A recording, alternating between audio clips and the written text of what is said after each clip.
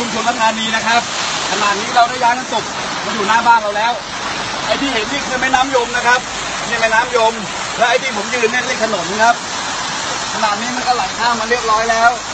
สบายใจแล้วครับ ตอนนี้ปีนี้ผมว่ามันหนักกับทุกปีเลยครับ ยังไงก็เอาใจช่วยนะครับให้ทุกคนอยู่รอดปลอดภัยนะครับเพราะแต่หน่วยงานราชการแล้วก็เอกชนก็ช่วยเหลือกันทุกคนนะครับ แต่ตอนนี้